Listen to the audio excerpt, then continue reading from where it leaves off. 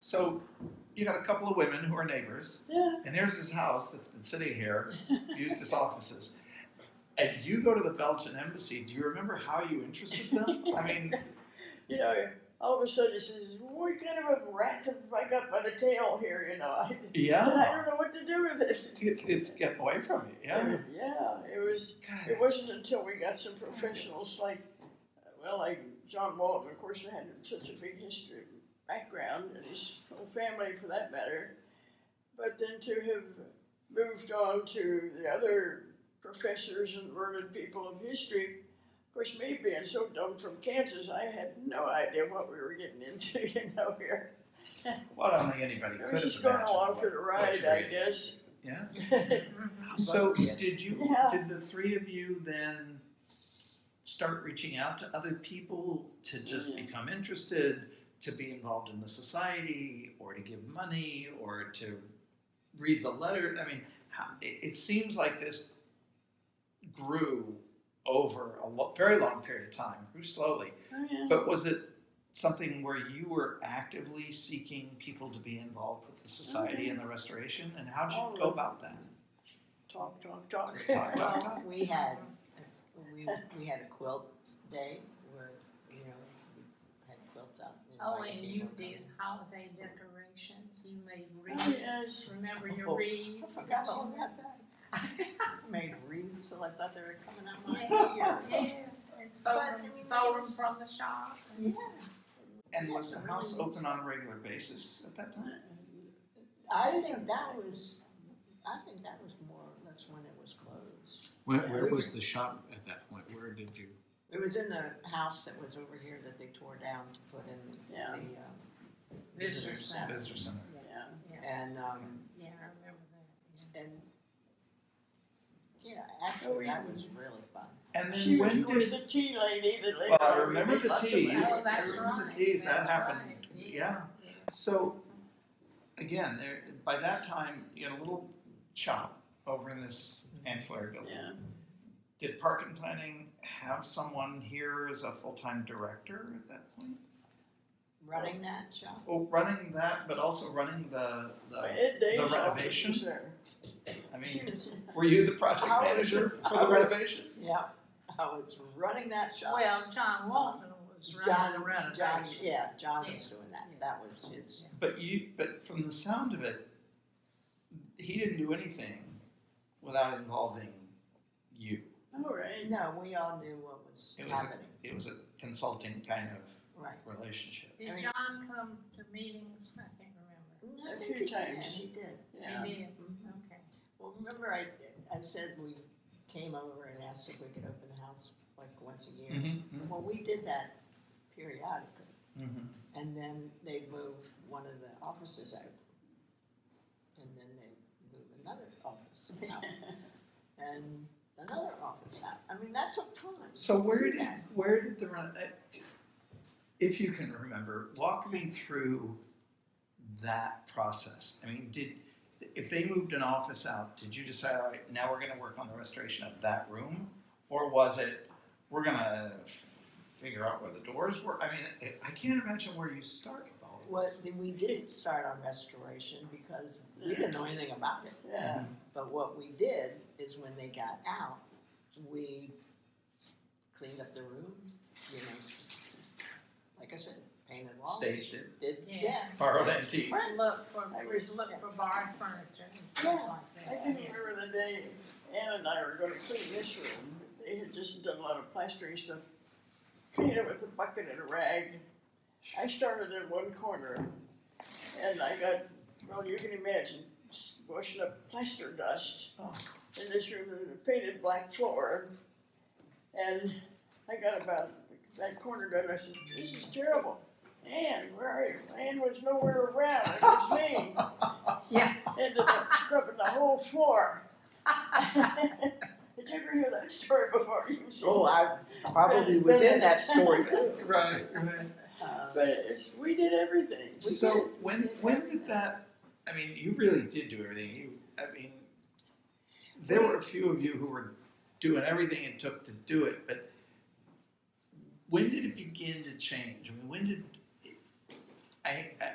I probably have the wrong description, but when did professional management, when did park and planning step up and say, all right, we're going to put money into this and we're going to hire contractors and we're going to, you know, when, when did that shift happen?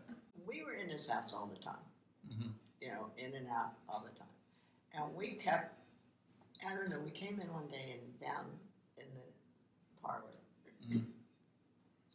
We were looking at the walls and they looked damp. Mhm.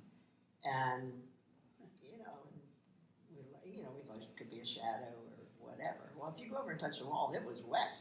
Mm. So um, that's when we decided to call in a consultant find out why.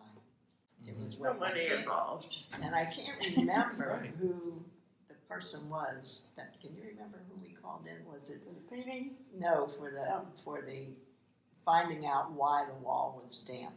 oh, Um, no, I don't remember that either, but I sure remember the catastrophe.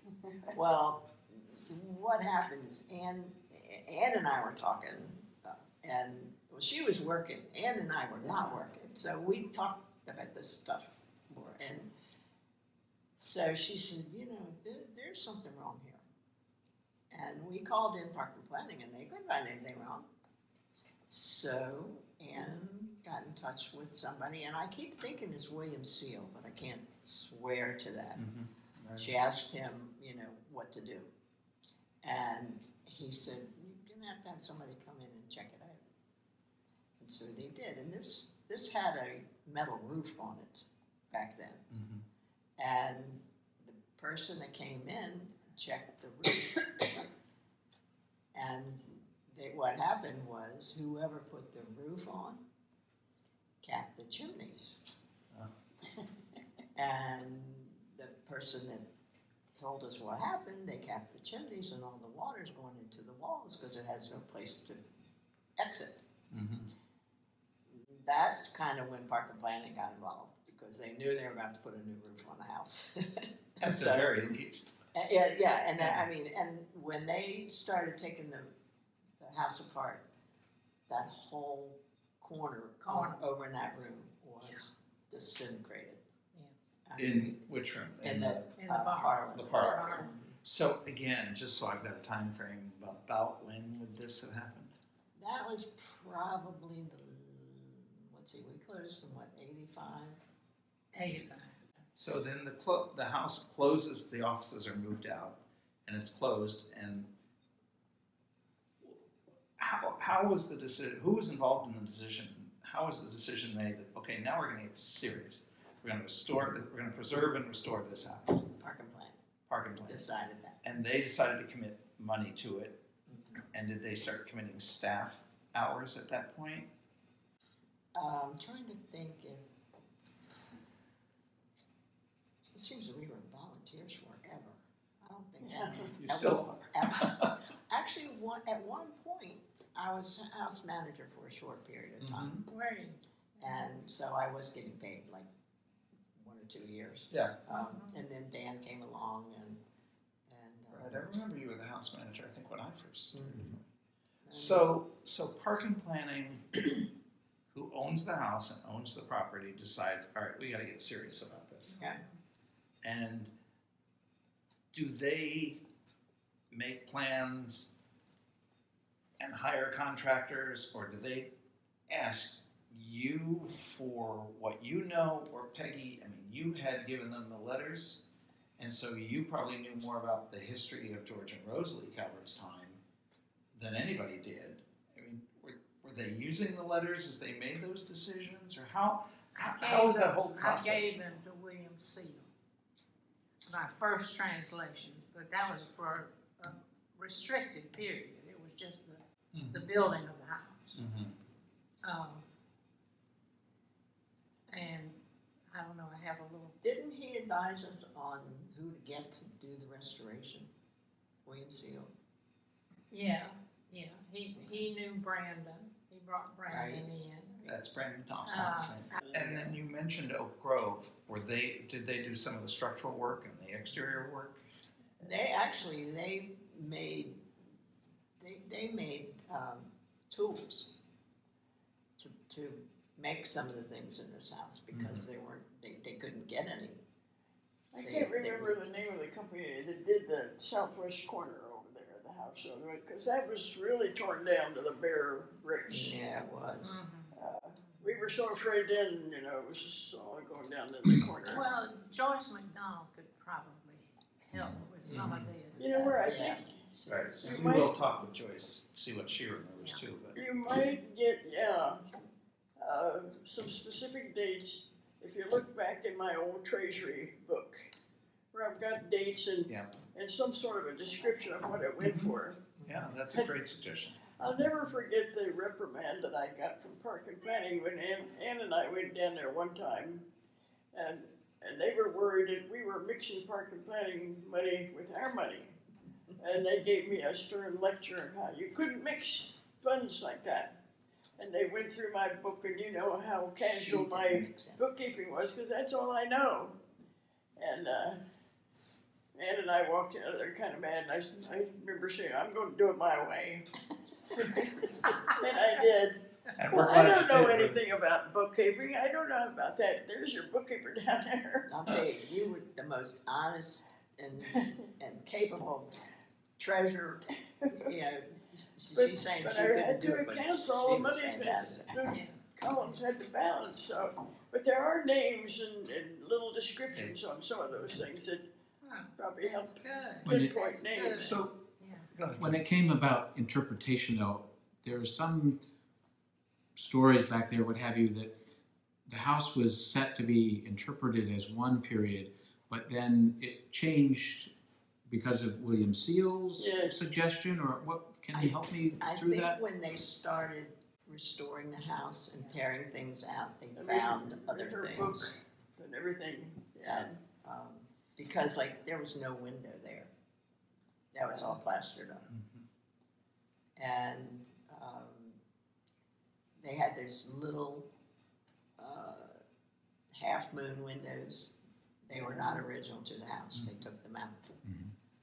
Um, where the door is that goes into the blue room down there, that had a big, huge fireplace in Yeah. front of that. And that was not original. Right. So who, who was, what's, what was the source of information? How, how did you, so what I hear you say is that they began doing restoration and as they did, they found all sorts of evidence. Mm-hmm. Who was the f- sort of decider? Who said, oh, that's original to the house, that's not? I think it was her book. It was It a was lot of all, what the- Peggy all had. the authenticity That's what I figured. was in the letters. Yeah. Mhm. They had to be relying back Yeah. on those.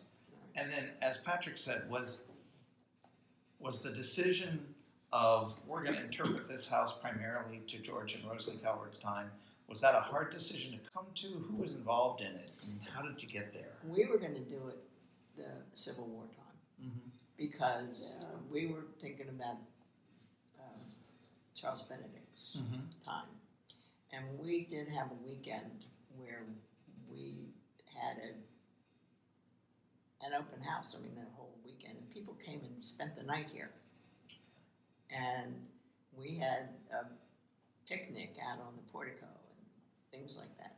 Um, and the kids were dressed in period costumes, and we thought it was going to be that was going to be our time period. Mm-hmm. But when they started taking things apart, they were thinking that this goes way back, much farther than that. And And s- Seale had a big to-do. I think he did have a. With- Because John Walton wanted that period that you mentioned, Mhm, because it would be a, a cheaper restoration Right. than going back to Rosalie's time. Right. Well, it was really all we knew. anyway, we knew it was here during that time period. We just didn't know at what level it existed earlier. Right.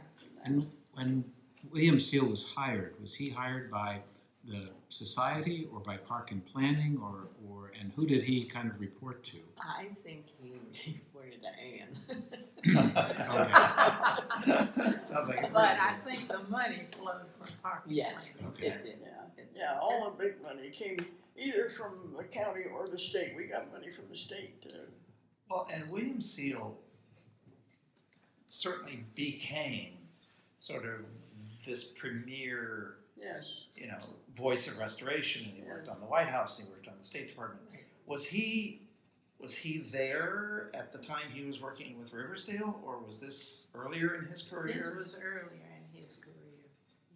But he was here quite a bit. Yeah, he was. I mean, most of us Yeah. were on first-hand names with, with each other. We Well, each and I other. know oh. he when he passed away this year, he gave Yeah. his papers to Winterthur, I think. And Patrick and I are going to go down and take a look at those papers Good. because all of his records from Riversdale are there. I don't know how much that really constitutes, Yeah. Yeah. but certainly those records are there. So Okay. that will that will tell us a lot. So what were the what what do you re, all three of you what what do you recall as sort of the big moments? What were the what were either the hard decisions or the most meaningful decisions, or let me ask it differently: the result of those decisions. Um, you know, when did you walk in here and go, "Oh, now we're on the way"? I mean, what, what were those big moments like? Well, I, I, I can, I was convinced much earlier than that. But I think what really convinced me that they used to live here was that little spoon that, what's That his name found. found? Julie found it. Who was Dusty Ju- Rhodes. Julie found it. Julie found it. Julie Rhodes found it. We were, we were going to find out what was in all the dirt between all the joists upstairs and Mhm. downstairs. It, I see us dirt diggers. We dug all kinds of stuff. We found a lot in here. though. Yeah, We but we found that little silver spoon that Rosalie had said she, the silver she had, and it was had the maker on it and everything. I said that they really were here. They left a footprint. Yeah. You know where they, she found that? When they were restoring this house, they took the, the hallway out, Yeah, and there's a wall under there that's this wide, and Mm-hmm. we were walking on top of that wall. And Julie and Dusty and I were here one day, walking around to see what had been done, and Julie bent down and said, "What's this?" yeah. It was on top of that wall. How in the world it ever got there, I would never know. Because there was no crack that was big enough for that spoon to fall through. Yeah. But it was on top of that wall. Mm. And it had Rosalie's uh, initials on it. And And I think- George's, yeah. In Georgia. Yeah. They were intertwined. It was. Mm-hmm. And Yeah, yeah, and that's the one that's still over in And where- Yeah. And where was that spot expa- exactly you found? It was down here. You know where the, the door to the pantry is? Yes. Right outside that door? Right outside, Yeah. yeah. Right outside the door to what's now the Butler's Pantry. Yes. and there were some other little things that people found. I found nothing but dirt. Well, that one, But I day, you should have been with us that day when we were up in the nursery. yeah. But What we was that found day? You talk about a fantastic day. You know, they had to take up some of the floor up Yeah. there because it was weak. Well, there's little doll clothes under there. There remember was a, that, a yeah. comb, toothbrush, Toothbrushes. Yeah. Yeah. a That's a lot of what's over in the $17.99 case in the coin. visitor Yeah, center. they're all Right, over there. right. So those were all found together in the nursery. In that, in that nursery. Hmm. That was And it was found by a volunteer. Absolutely, abs- Who convinced us to go looking through all that dirt? I can't even remember who suggested it, but we were Yeah. all eager to do it. Yeah. yeah. Yeah. That's why I've got masks at home still, Yeah. because we wore those masks. Yeah. Yeah, we did. Oh, A 'cause the whole dirt and the of masks. yeah. Asbestos and the plaster. It was so and- dusty and dirty. So how long, how long did the three of you keep digging around the dirt in this house? I mean, it sounds like you must have been at it for ten years or more. No, no, Well- no, no. It seems like it was ten years. I'm sure. Well, when we started, when we started originally and that opened it the first time, Yeah, it probably was ten years. I mean, well, I finally had a job for money, and she finally got a job for money, so we didn't have much time, mm-hmm.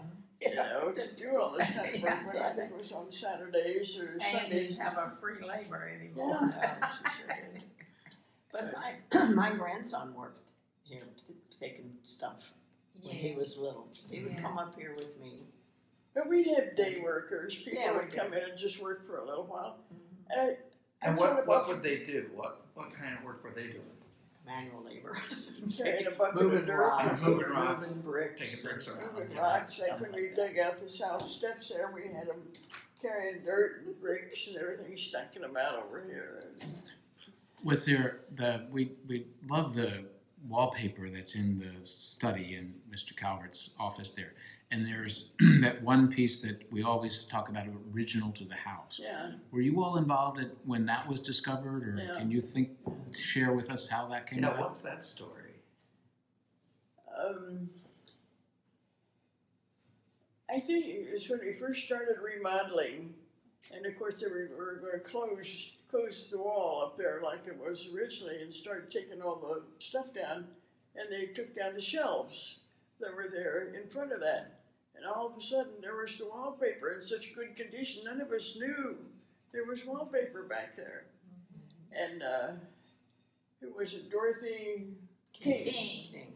that said that was original stuff because she she was into ancient art and all that kind of good stuff and and she was just thrilled to death and I think she went home and did some research She and all that kind of stuff. Now, did, I was going to say, did she like look at it and have a good idea, or did she say, "Let me go do the research," and came back and said, "Guess what? We just found." I mean, Yeah, I think that's pretty much the way it worked. She thought she knew what she was Mhm. seeing when it first, when she first saw it.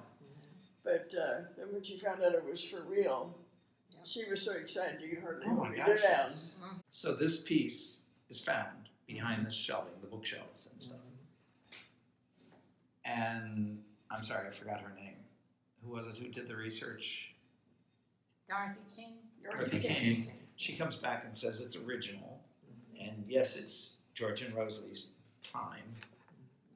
And it was just that one panel, like between the door and the corner, Yes. in the okay. And then what? They found it in New York. How do we know that it's in New York? How, Well- the Metropolitan Museum had it, right? Right.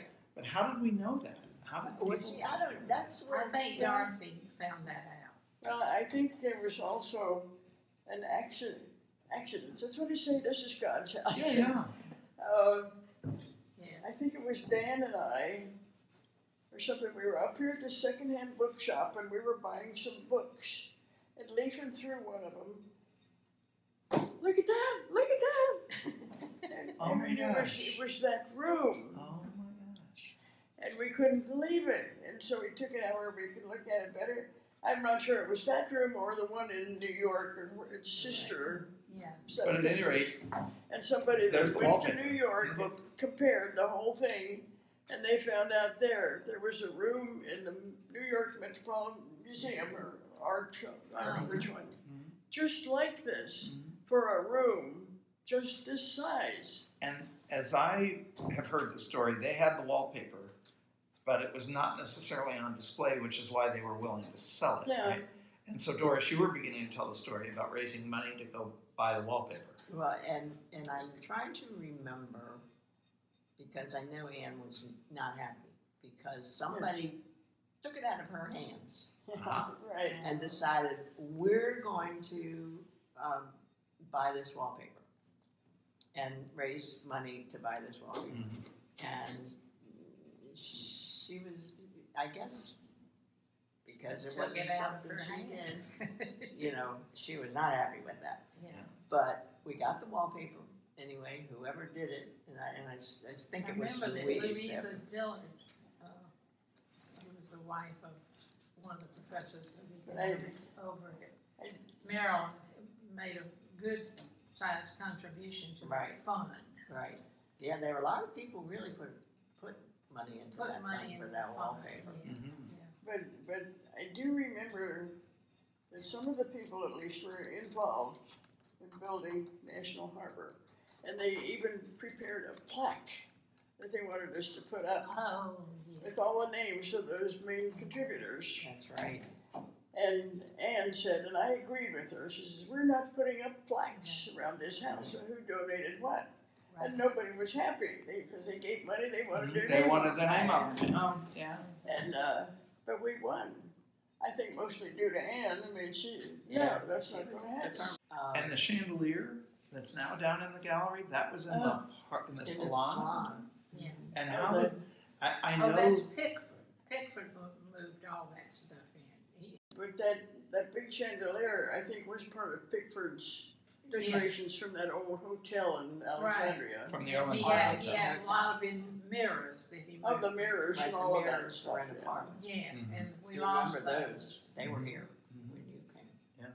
And there were two other mirrors that have disappeared that we've never figured out. Maybe they were sold and I missed it.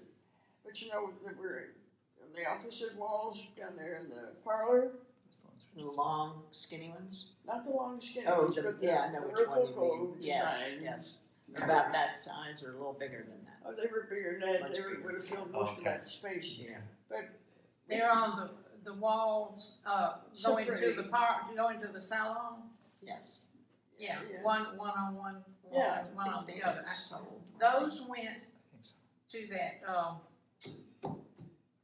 man who wanted them, who had an art, uh, place. see, we can't remember. And I back can't remember his name, uh, but he promised us some more Yeah, of the period yeah. we needed, and Is we that never, Taylor we Wells? never It got never them. came I was thinking, But- was Is that that Taylor? Gordon Wells? No, that wasn't Taylor. Was it Trubetsky? Trubetsky?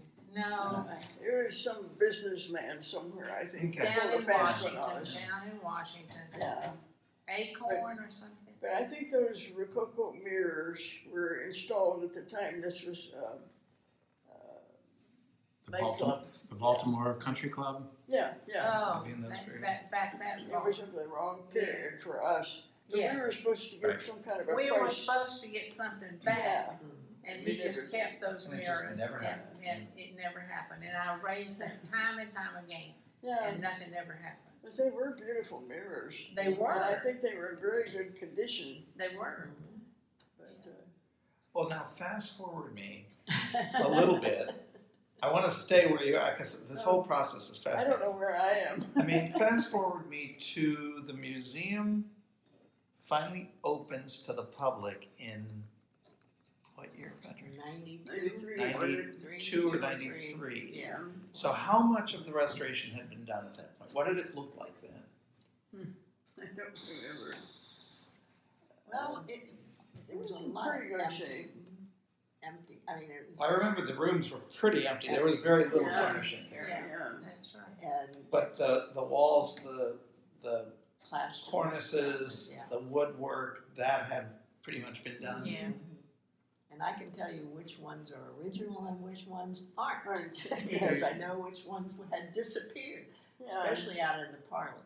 That one corner that's on the, that side of the, Yes, that was almost gone mm-hmm. because of the, the water. but there was enough, as I understand it, as I think I was trained, there was mm-hmm. enough of those cornices and things that we could take molds and recreate and mm-hmm. Yes. fill in where the blanks were. Yes, Mhm. Okay, so so we knew it was the original design. Right. We just had to finish it. Right.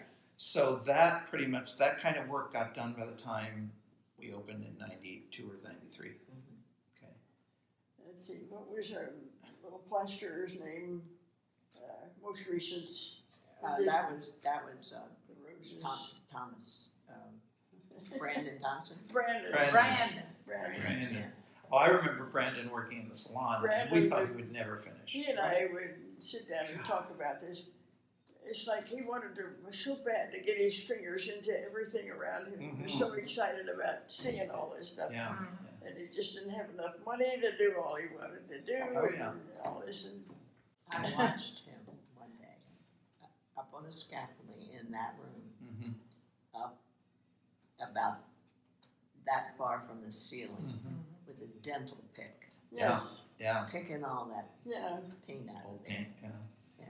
Well, and then it was years after that, I think, that Matthew Mosca came in and mm-hmm. started doing all those paint Yeah. samples through the room Yes. to determine the color. And I remember him showing all of us Yeah. his work under the microscope, and you could see all the layers of the paint. But that was mm-hmm. quite a while. Well, wasn't that much later, was it? Was that late that was nineties? pretty late. It's not too long ago, but it seems like yesterday. Seems like Yeah,